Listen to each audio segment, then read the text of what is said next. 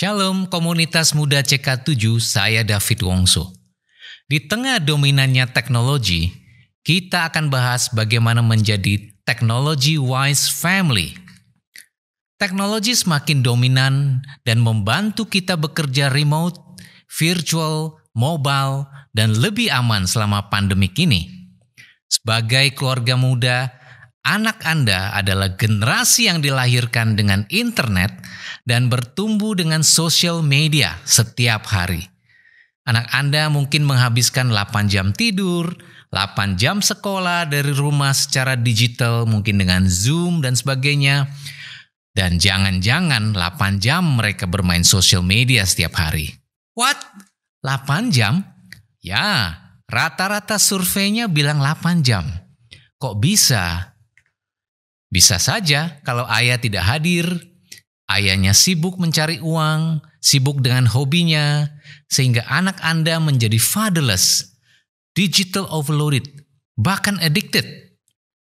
Social media dan games didesain dengan UX atau user experience dengan tujuan mendominasi perhatian anak Anda dan dengan kondisi fatherless dan social distancing di zaman ini, mereka nggak bisa bermain keluar, maka social media, games, dan film menjadi tempat pelarian mereka.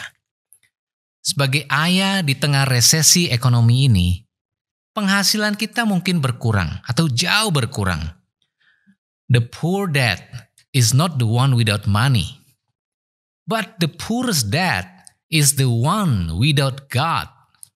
Ayah yang miskin bukan yang gak punya uang. Ayah yang malang adalah yang miskin rohani karena tidak punya juru selamat. Sebaliknya, jadilah ayah yang kaya secara rohani, yang mewariskan keselamatan, hidup yang kekal lewat iman dan karakter untuk keluarga dan anak-anaknya.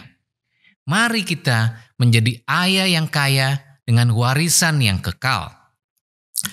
Hikmat yang Tuhan taruh dalam hati saya selama pandemik ini, kita jadi tahu, saya jadi lebih mementingkan bahwa ternyata kita harus punya hidup yang kekal. Kita nggak pernah tahu kapan Tuhan panggil kita selama pandemik ini. Nomor dua, keluarga menjadi penting kesehatan. Apa yang kita kumpulkan dan kita kejar, tas mewah, sepatu mahal, baju mewah, mobil, nggak bisa kita pakai sekarang. Bahkan harta dan rumah tidak bisa dibawa bila kita meninggal. Buat para ayah, kita perlu alokasi waktu untuk Tuhan, keluarga, dan kesehatan. Sebagai ayah kita harus memanage dampak negatif sosial media dan games pada anak. Berikan waktu ayah, jadilah teman untuk anak-anak Anda. Ajak mereka beraktivitas, olahraga, masak, bermain, membaca, membersihkan rumah. Apa saja yang membuat mereka itu bisa teralihkan perhatian dan tidak hanya menghabiskan waktu main game dan sosial media teknologi harus jadi pemberdaya buat kita. Nah, coba sekarang kita checklist. Apakah teknologi itu memperbudak atau memberdayakan Anda? Satu, coba di checklist. Apakah teknologi mendekatkan atau menjauhkan Anda dengan Tuhan dan keluarga? Nomor dua, apakah teknologi membuat Anda lebih produktif atau semakin konsumtif? Anda jadi banyak belanja online misalnya.